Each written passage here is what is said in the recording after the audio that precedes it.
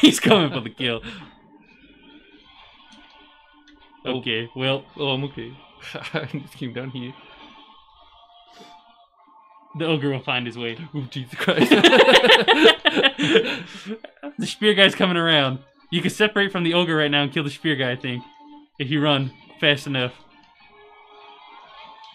He's somewhere around here. Keep it running.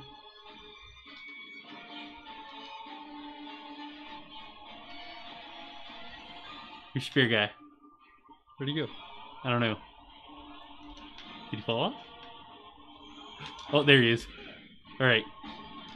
Yeah, you have to be careful for those stabs. They're killers. But you just keep smacking them. Yeah, very nice. Okay. Jesus Christ. Alright, run away from him. Run away from him so you can get the first hit in. Just hide. Give me a heart attack. Hide. Somewhere far, far away. Like you go you go back to the bonfire, but don't use it. Sneak attack over here. you can use the pellets though. I recommend